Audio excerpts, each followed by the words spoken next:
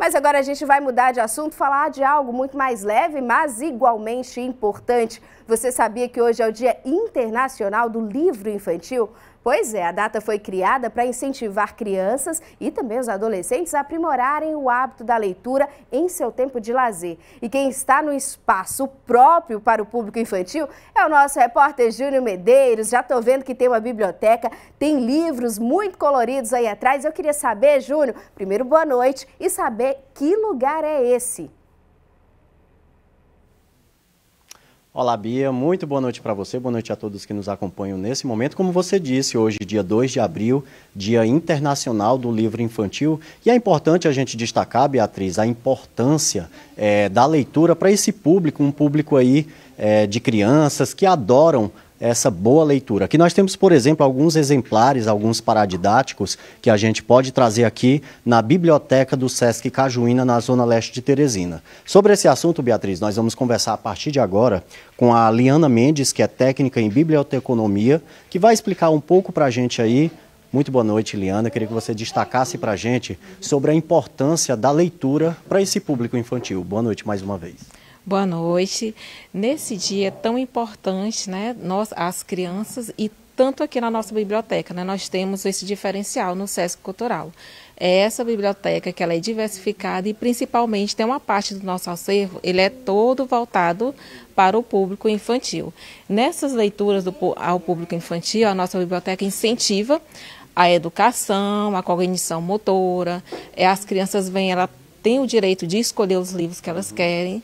E aqui nós temos todo esse espaço, né, onde elas podem, elas podem se sentem à vontade para lerem e também até brincarem. Liana, nós estamos aqui dentro da biblioteca. Eu queria que você contasse um pouquinho sobre um desses espaços que nós temos aqui na biblioteca, é, que é o aqui é um empréstimo de livro surpresa, não é isso? Como é que funciona? Sim, o nosso, nosso espaço de, de livro empréstimo surpresa é assim. A criança que já tem um cadastro aqui na biblioteca, ela pode vir, ela escolhe através da temática que ela está vendo aí, ela escolhe um livro e junto com esse livro ela tem direito a mais dois livros que são aqui do nosso acervo. E aí ele tá, é, tem esse desenho, mas também está dentro do envelope. É surpresa. Quando a criança chega na sua casa, ou então aonde ela vai ler, ela se depara com o livro que tem dentro. Que legal, Liana. Então, eu queria que você contasse para a gente. Aqui nós temos esse espaço aqui na biblioteca infantil, mas como é que faz aí para a criançada vir fazer aquela visita e ter aquela boa leitura? Pronto. A nossa biblioteca é aberta ao público em geral.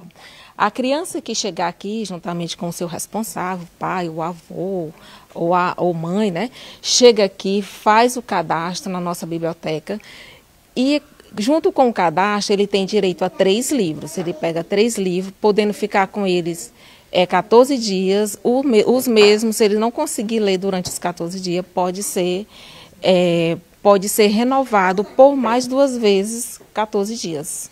Muito obrigado pela participação, Liana. Nós conversamos aqui com ela, Beatriz. Olha só, você pode ver aí nas imagens que é um espaço super interessante, super aconchegante. E nós temos aqui também, Bia, uma família que está aqui, trouxe aqui uma pequena para fazer aquela leitura. Como é o nome da senhora? Kelly. Kelly, queria que você contasse para a gente sobre. Hoje é o dia da, do livro infantil. Fala um pouquinho aí sobre a importância dessa leitura aí para esse público aí que adora também uma boa leitura. É, além de todo o encantamento com a leitura, os livros ajudam muito a gente até introduzir alguns assuntos com a Isabela. Né?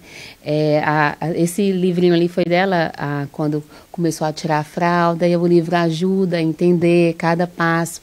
Inclusive, hoje é o dia também do, do autista, né? e foi um assunto também que ajudou muito a tratar com ela em casa, que tem um livrinho que é Meu Amigo Faz I, que ela começou a perguntar por conviver com a criança atípica e é, ajudou. O livro ajudou a gente a, a tratar esse assunto com ela. Então, é um aliado importante para a gente. Obrigado, Kelly, pela participação aqui com a gente. Então, Beatriz, olha só. Aqui você pode ver que é um espaço bem interessante, como eu falei agora há pouco para vocês aí de casa, um espaço aconchegante para trazer essa criançada aí para fazer aquela boa leitura. Então, Beatriz, eu acho que também você precisa trazer o Vicente aqui na biblioteca do SESC Cajuína, aqui na Zona Leste, para também fazer aquela leitura que eu sei que ele também gosta.